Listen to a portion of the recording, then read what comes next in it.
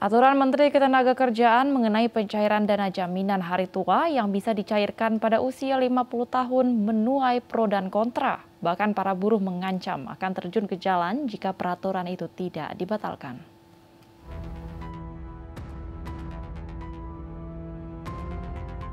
Menteri Ketenagakerjaan Ida Fauziah mengeluarkan aturan baru mengenai pencairan dana jaminan hari tua atau JHT yang tertuang dalam Permenaker nomor 2 tahun 2022. Dalam aturan baru, peserta BPJS Tenaga Kerja baru bisa mencairkan dana JHT 100% pada usia 56 tahun.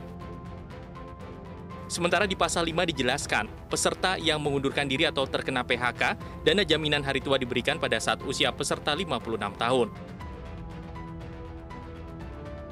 Peraturan Menteri ini mendapat penolakan dari kaum buruh sebab berbeda dengan aturan sebelumnya di mana JHT bisa dicairkan satu bulan setelah peserta terkena PHK atau mengundurkan diri dari pekerjaan.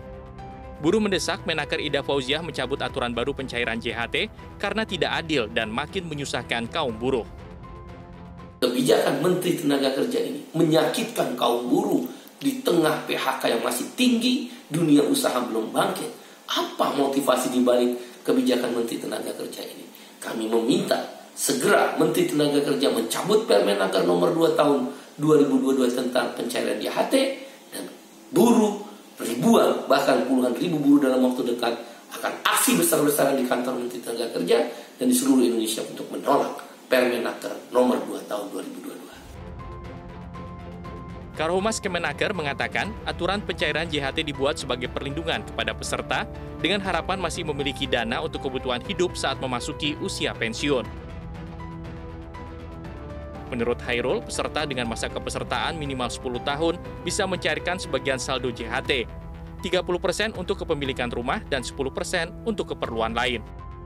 Peraturan Menteri Ketenagakerjaan Nomor 2 Tahun 2002 ditandatangani pada 2 Februari lalu dan baru akan berlaku tiga bulan kemudian pada Mei 2022.